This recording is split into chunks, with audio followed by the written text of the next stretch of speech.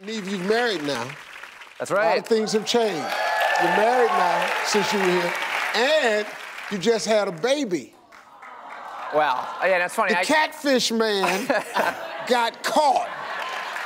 yeah, it's true. I, I get a couple things. First of all, in case you're wondering, we're not married. A lot of people think that. So the marriage was not us. Uh, and I get way too much credit for having the kid. I mean, people always say congratulations, you know, and, and I, I'm, I'm thrilled to be a dad, but all the work and all the credit goes to my wife for sure.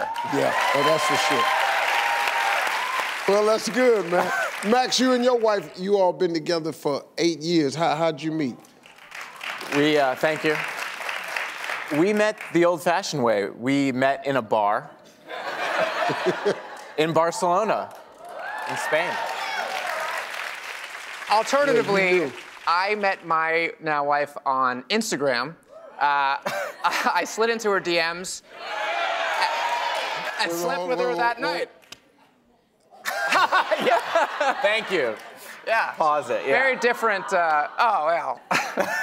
but hey, you know, however, however you find it, you find it. yeah. You know.